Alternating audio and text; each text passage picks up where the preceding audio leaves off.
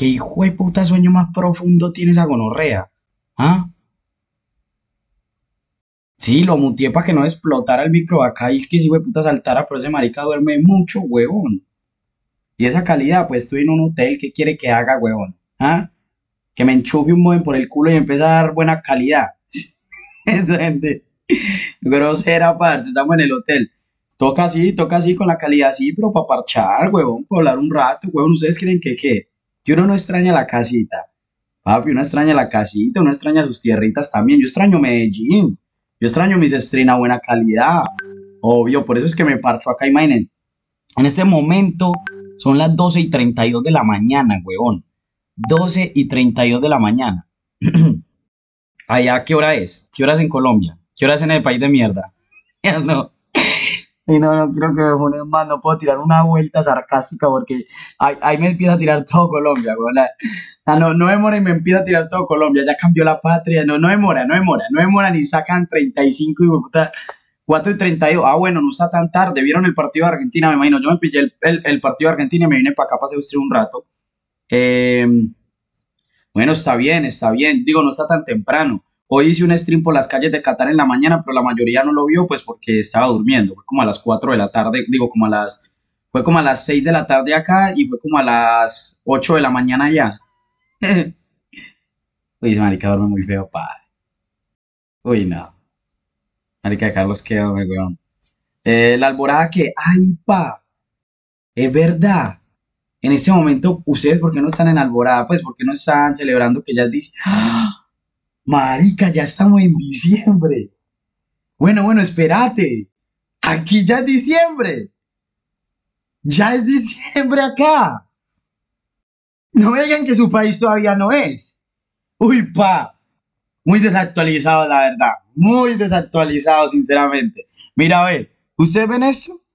¿Ustedes logran ver esto acá? 1 de diciembre, jueves no me digan que en su país todavía no ha llegado diciembre, porque si no ha llegado diciembre en su país, estamos jodiendo, pues. Uy, no, qué tristeza, padre. Qué tristeza, gracias a Dios por aquí en Tierras Catarí, ya estamos celebrando diciembre, parchaditos de la vida. Aquí ya somos acá, así somos. El pai, imagínense, parezco que estoy. Eso es como viajar en el time. Fuera de charlas. Dios mío. Mm.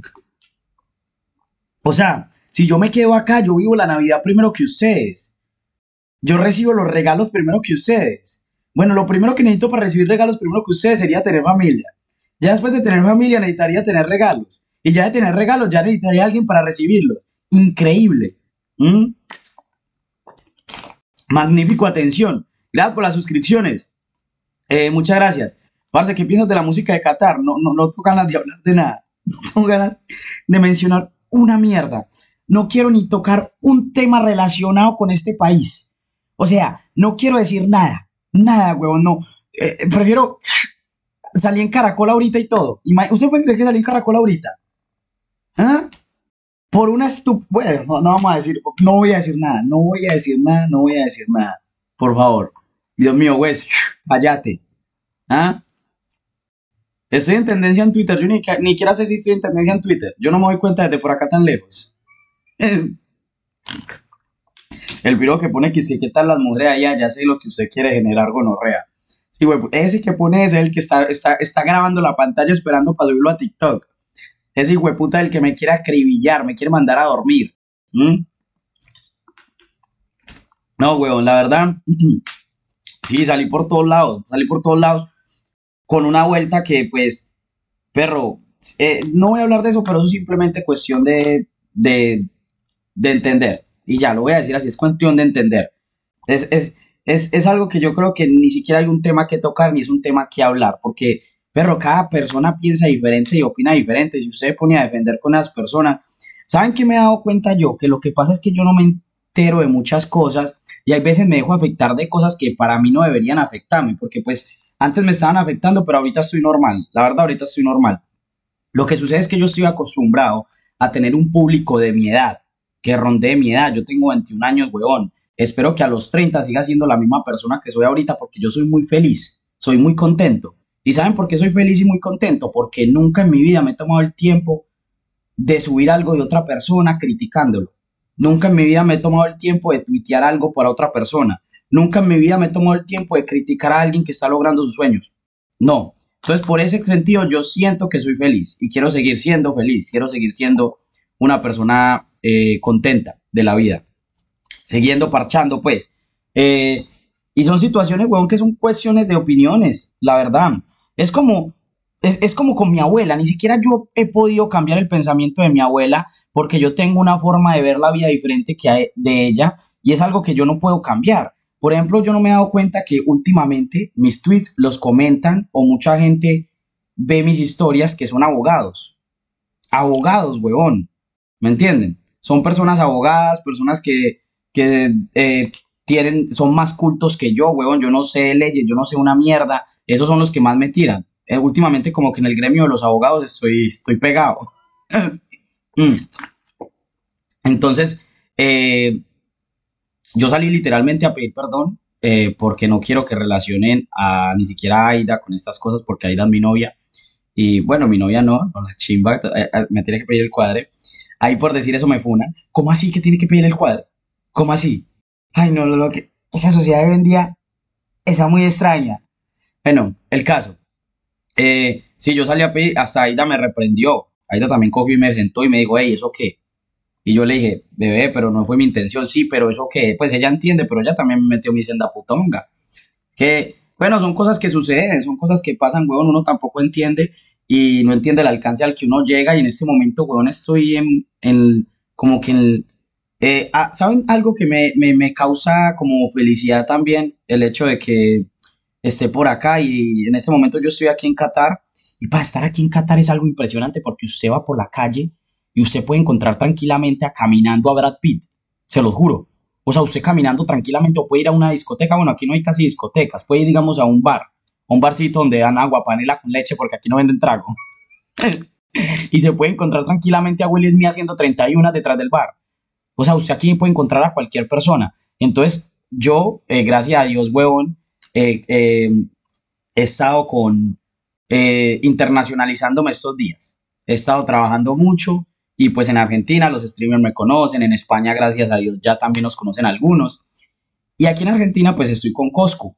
Y Cosco es una persona, huevón, que también es muy criticada y en realidad me siento acompañado. Porque, pero se puede creer que estaban funando a Cosco en Twitter porque le dio la mano a un jugador de Argentina y Argentina perdió lo estaban funando que porque Coscu le dio la mano perdió a Argentina. Y últimamente pasan muchas cosas así. En todos lados. O sea, lo, mío también, lo mío tiene su peso, lo mío es algo, weón, a lo bien que yo me arrepentí. No voy a hablar de eso a fondo porque pues no hay que hablar de esas cosas ya. Eso vamos a dejarlo en el olvido, weón. Yo me arrepentí de lo que dije porque son palabras pesadas. Pero hay cosas que buena que vean, vean por ejemplo lo, lo, lo de lo de lo mío, sí, lo mío es por marica. El que dijo eso, lo mío es por marica, literalmente. Porque pienso, weón, que puedo hablar como cuando hablaba cuando tenía 300 viewers. Porque pienso que todo el mundo va a entender mi humor. Porque pienso que todo el mundo va a pensar como yo. Ese es mi error, weón.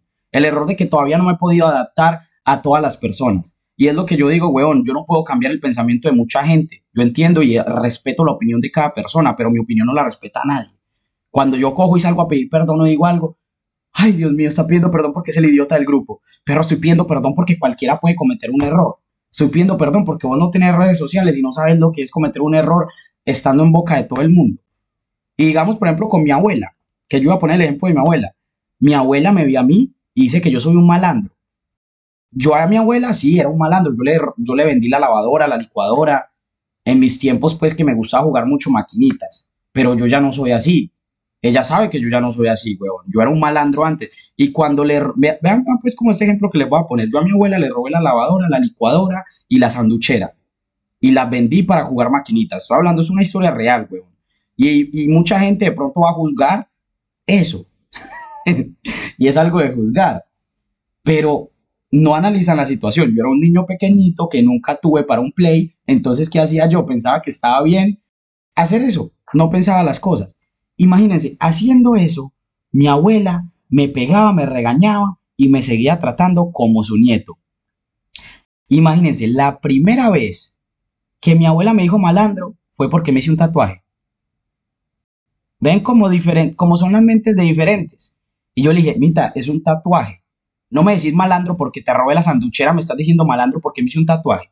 Y no me le podía ni acercar, porque me decía, no, no, no, no. Yo con personas como usted no estoy, ¿ok? Personas tatuadas conmigo no hay en la casa. Yo jodeme la vida. Entonces, ahorita, gracias a Dios, mi abuela entiende que un tatuaje no me define como persona, pero fue algo que tuvimos que trabajar. Fue algo que pasó mucho tiempo para que lo entendiera. Entonces pasa mucho. Y ahorita estoy en un punto donde pueden creer que ahorita un parcero me dijo narcotraficante. Es que porque apoyan estos influencers que lavan su plata con narcotraficantes, jodeme la vida. O sea, me está jodiendo. O sea, ahorita soy narcotraficante también, huevón. ¿Mm? Impresionante. Mm. Situaciones que están pasando, pero, pero feliz y contento. Y lo que digo, estoy acompañado de personas que están pasando por el mismo momento que yo. Y es algo que yo estoy entendiendo y estoy aprendiendo de este proceso. Y me he dado cuenta también que entre más haga algo bueno, siempre hay algo malo, lo cual van a destacar siempre. A mí me encantaría, weón, que las cosas buenas las destacaran. Y vi varios comentarios como que, pues hace cosas buenas, pero las borra con el codo. Mucha gente decía eso.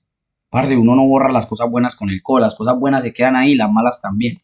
Uno va aprendiendo, weón, uno va escalando, mi brother. Eso no es de un día para otro, bro. O sea, yo no puedo ser la mejor persona de un día para otro. Yo no puedo pretender caerle bien a todo el mundo de un día para otro. ¿Mm? Uy, no, pa, Carlos, ¿qué hace durmiendo así, weón? Qué gonorrea. Yo aquí hablando todo serio de maricana de sueñazo. ¿Mm? Mm. Sí me dio risa la historia. Parce, a mí unas cosas que me dan mucha risa. Yo lo admito también. A mí me dan mucha, hay unas cosas que me dan mucha risa. Y literalmente, weón, no puedo decirlo porque en este momento me funan. Se los juro. Hay cosas, weón, que si yo en este momento digo que de esas cosas me dan risa, me funa la mitad de Colombia y la otra mitad se va a reír, porque es que eso se divide en esas dos clases de personas, en las que se ríen de todo y las que están para defender los que se ríen de todo. Entonces es como que, bueno, uno entiende por ese lado, pero no lo entienden a uno, ¿no? A uno nació así, huevón. Está, por ejemplo, el parcero que, usted, que va con usted, pasa una moto y boom, se le lleva una mano y lo tira al piso, y uno le caga de la risa y está el otro que le preocupa. Y aunque no haya sido nada, está el que estás bien mientras el otro está riendo ha pasado muchas veces esas, eh, eso pasa, siempre hay dos tipos de personas, weón. ¿Mm? Usted sabe cuál es su alcance, entonces ¿por qué mierda lo dice? Porque yo no lo digo con esa intención. O sea, ese es el problema. El problema es que yo no lo digo con esa intención. O sea, mi intención nunca es, no voy a hablar de ese tema más, pero mi intención nunca era dar el mensaje que la gente entendió. Y la gente que me sigue a mí entendió cuál era el mensaje que yo quería dar. Es algo con lo que venimos jodiendo hace un montón de tiempo, huevón. Pero yo ya después entendí que eso es un tema delicado que se maneja acá. Yo, yo es que la cosa es que yo no me doy cuenta de lo que estoy diciendo, si no, yo no lo diría. Mm. ¿Qué quieren que les cuente de Qatar, pues? De la experiencia. ¿Qué quieren que les cuente de acá, huevón?